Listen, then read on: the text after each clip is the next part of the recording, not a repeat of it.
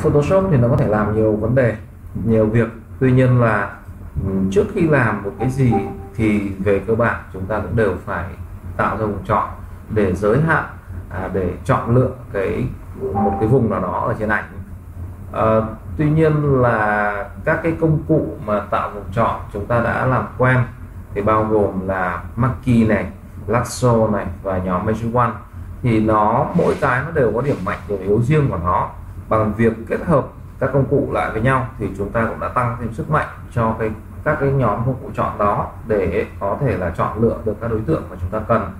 Tuy nhiên trong một vài trường hợp thì các công cụ đó không đủ để mà cho chúng ta chọn lựa được những cái đối tượng mà nó tương đối phức tạp.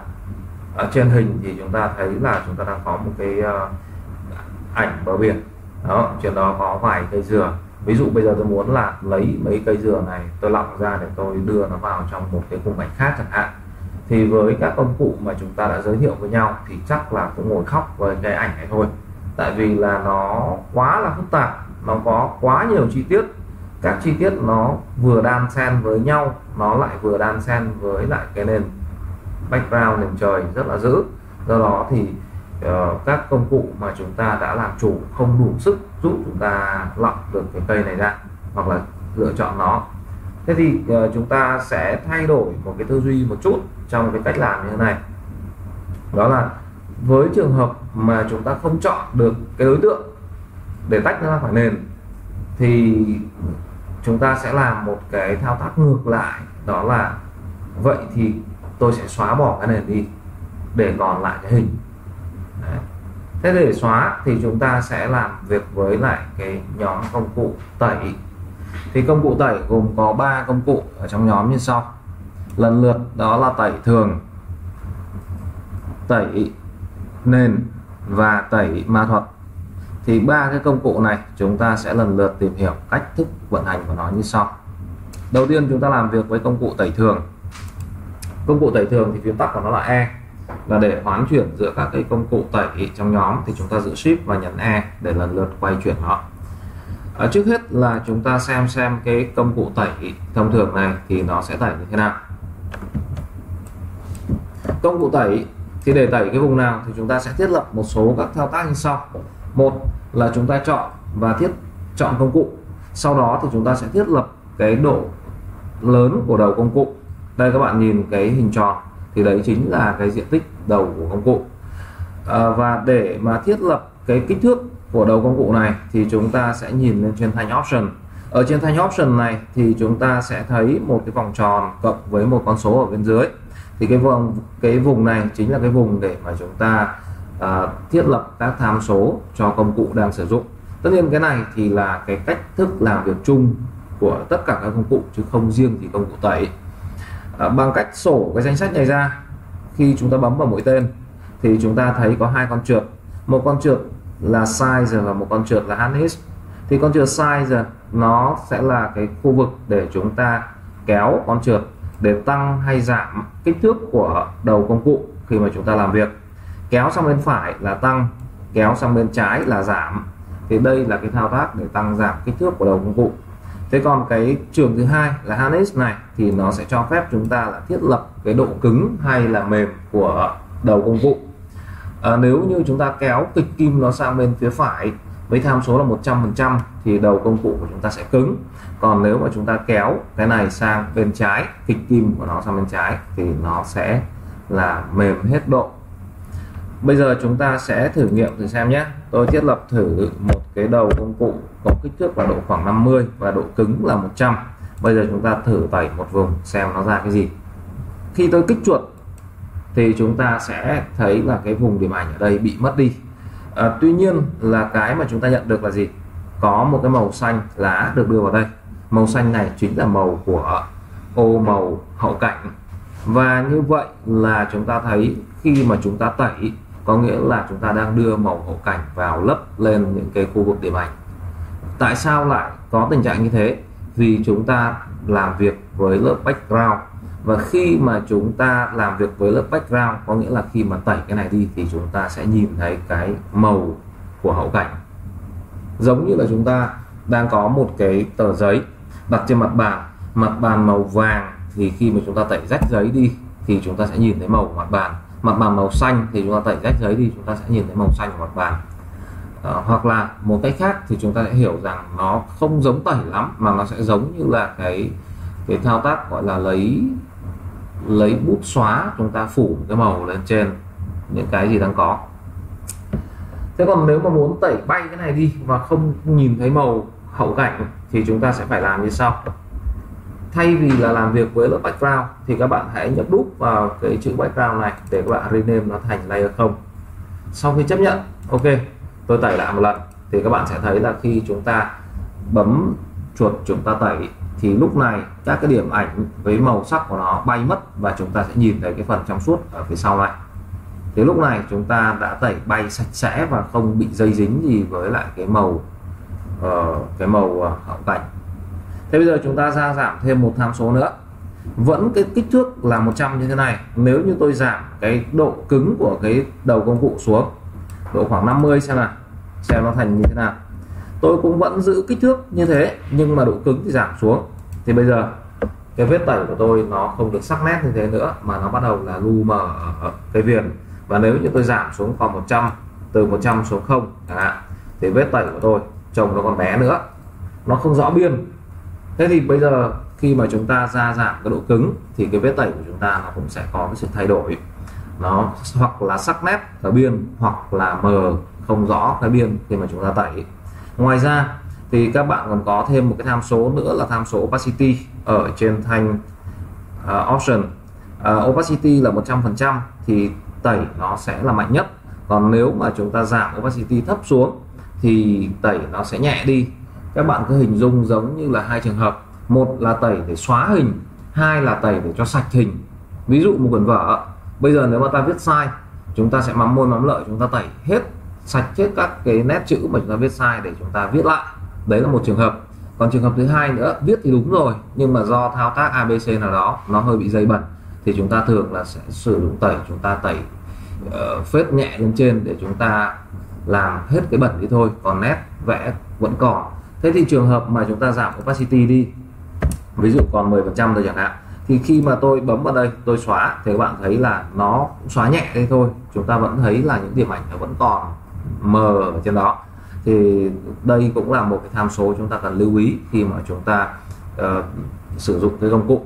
Thế đến đây thì chúng ta đã biết được một vài cái tham số để mà chúng ta thao tác đối với các công cụ nói chung cũng như đối với công cụ tẩy thế và mà ngoài ra thì chúng ta còn có một cái trường hợp rất là đặc biệt của cái công cụ tẩy này. Các bạn nhìn lên trên thanh option ở phần phần cuối thì nó có một cái checkbox chưa được đánh dấu, có tên là erase to history. Nếu tôi đánh dấu vào đây thì khi tôi di tẩy thì nó lại tẩy hết những cái gì mà vừa được thao tác, nó lại trả cho tôi về cái tình trạng nguyên dạng thì đấy là cái thao tác sử dụng với tẩy thế thì về mặt nguyên tắc vừa nãy tôi nói rằng là nếu mà lấy hình mà khó thì chúng ta sẽ bỏ cái nền đi để chúng ta giữ hình lại. Thì cái tẩy này có giúp chúng ta giải quyết được là tẩy cái nền đi và giữ lại hình hay không? Tẩy nền đi thì chắc chắn là tẩy được. Chắc chắn là tôi tẩy được. Nhưng có giữ lại được hình không thì cái này không giữ được. Nó không giúp cho chúng ta giải quyết được cái sự vụ là bỏ cái nền mà vẫn giữ lại hình vậy thì tẩy này có thể tẩy nhưng mà không giúp chúng ta giải quyết vấn đề đó. Chúng ta sẽ làm quen tiếp sang đến cái tẩy thứ hai. Xem nó có giúp chúng ta giải quyết được vấn đề hay không nhé. Cái tẩy thứ hai có tên là background erase. Nghe thì có vẻ giống giống như là yêu cầu chúng ta ở đây đó là tẩy nền. Thế bây giờ tôi nhấp chuột tôi chọn và bây giờ tôi đưa vào đây. Tôi sẽ à, thiết lập lại cái kích thước cho nó một chút để xem xem là nó to nhỏ như thế nào. Đây. Tôi đã thiết lập xong về kích thước. Đây, tròn tròn đây các bạn nhìn thấy rồi. Và bây giờ chúng ta sẽ thử cái nền. Thì các bạn thấy rằng là cái vòng tròn này nó đang tương đối lớn và nó đặt cả ở trong phạm vi liên quan tới nền trời lẫn cái tàu lá. Dừa thế và bây giờ bằng cách là kích chuột thì tôi xóa thử, xem xem là nó sẽ như thế nào nhé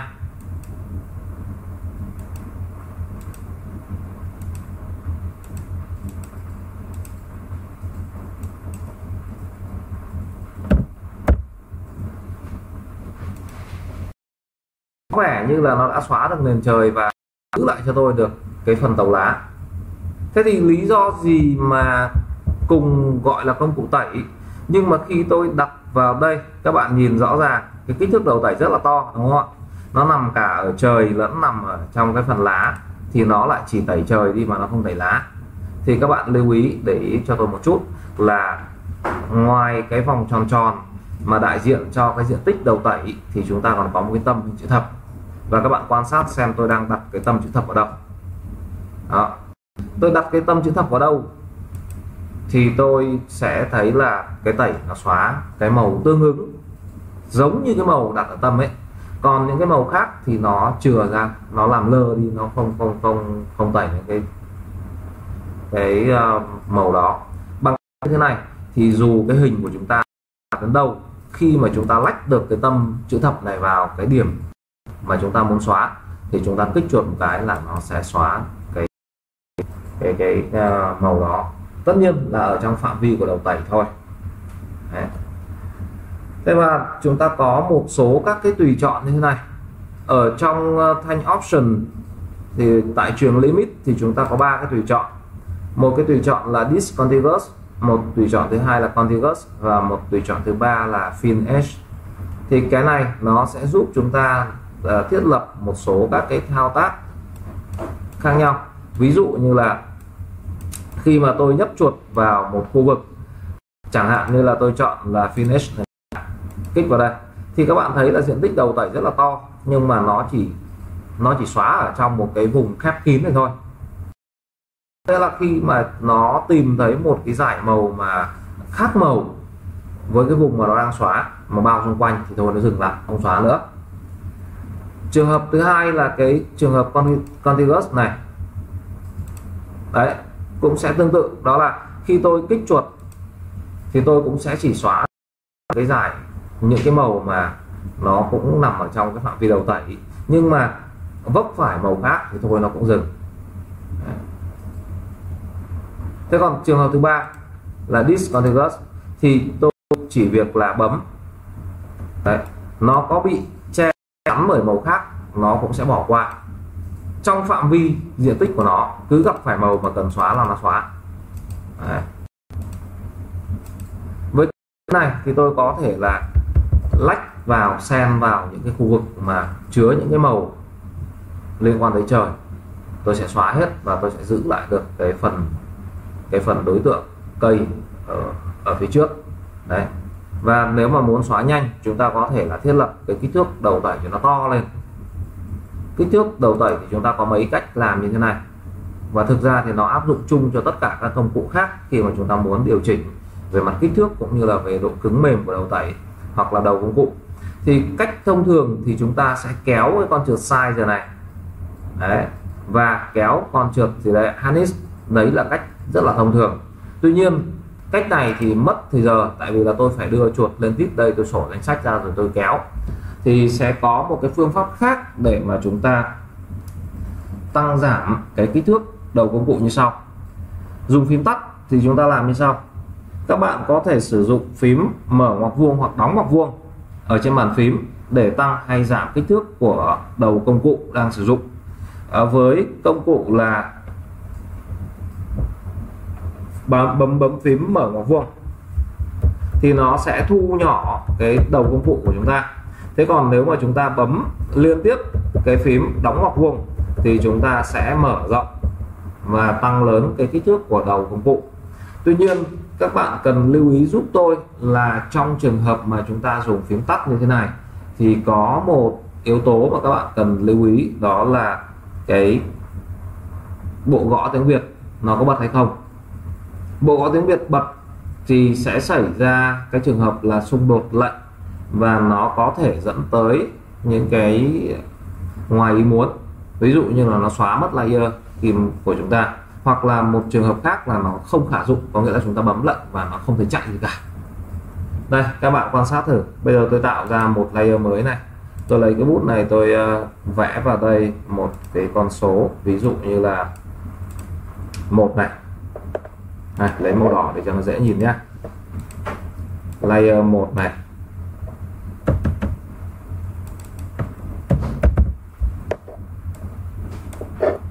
Layer 2 này. Layer 3 này. Ok, bây giờ tôi mới lại sang công cụ tẩy hoặc là một công cụ bất kỳ. Tôi sẽ nhấn cái phím đóng ngoặc vuông hoặc mở ngoặc vuông gì đó để tôi tăng hay giảm kích thước. Bấm một lần, không thấy gì. Bấm lần thứ hai, chúng ta thấy layer 3 bay mất, đúng không? Bấm một lần, bấm một lần nữa, layer 2 bay.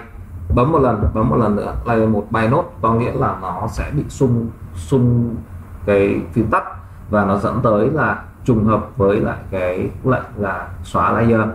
À, trong một trường hợp hy hữu hơn thì nó sẽ dính tới cái lệnh là duplicate layer có nghĩa là nó lại nhân bản cái layer đó lên thành nhiều cái layer hơn.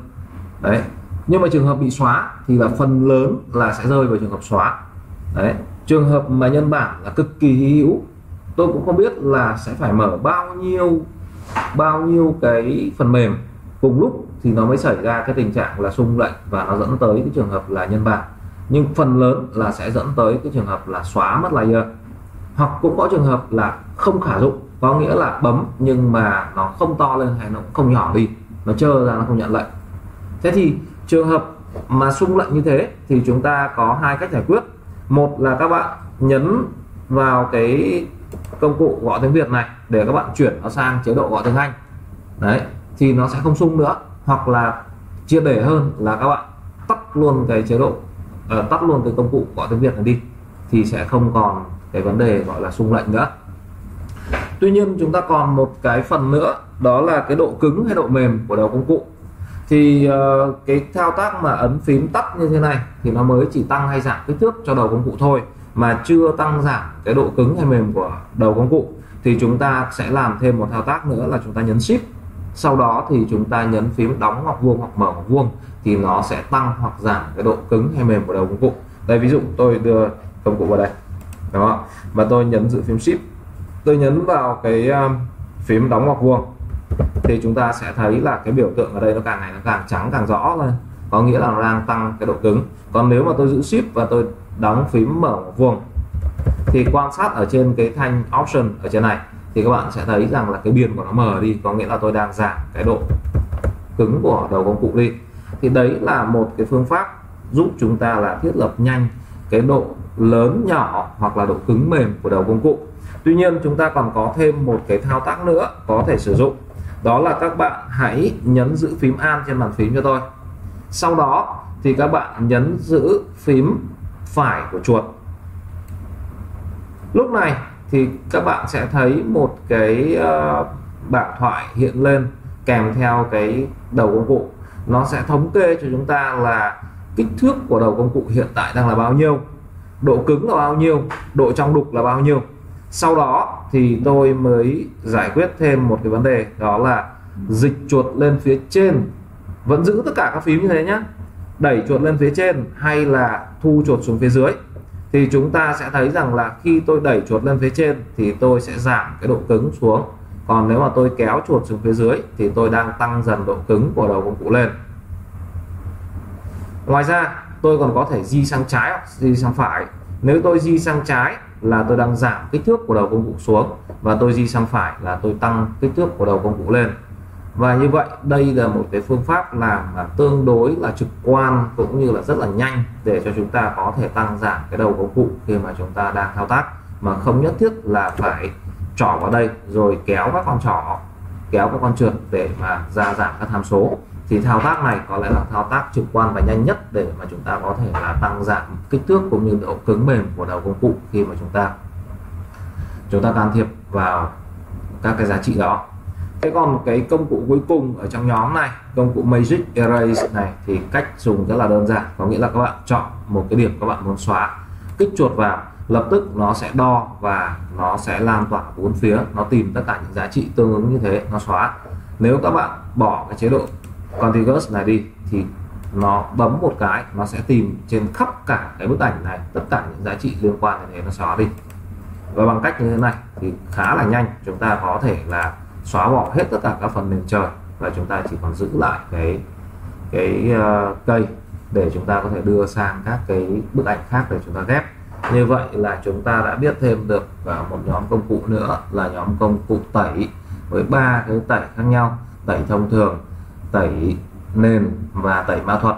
Trong đó thì tẩy thường thì có một cái chế độ rất đặc biệt đó là chế độ gì đây ạ? Erase to history, tẩy đến đâu thì lại khôi phục đến đó. Đồng thời chúng ta biết thêm là nếu chúng ta tẩy trên một cái lớp background thì nó sẽ lấy màu hậu cảnh đưa vào, chứ không phải là tẩy bay điểm ảnh đi. Thế còn nếu mà chúng ta làm việc với một cái layer không phải lớp background thì tẩy đến đâu, nó sẽ đánh bay cái điểm ảnh đến đó. Và cái công cụ đặc biệt ở trong này chúng ta rất nhấn mạnh, đó là công cụ background erase tool. Đưa công cụ vào đặt cái dấu chữ thập ở tâm của nó vào cái vùng màu muốn xóa. Kích chuột là nó sẽ chọn lựa, nó sẽ chỉ xóa những cái màu liên quan tới cái điểm chữ thập đó thôi. Còn màu khác không nằm ở điểm chữ thập là nó sẽ bỏ qua. Và với cách sử dụng như thế này, chúng ta có thể rất là tiện lợi chúng ta xóa bỏ hết nền đi và chúng ta giữ được cái đối tượng phía trước mà chúng ta muốn, bất kể là nó phức tạp như thế nào.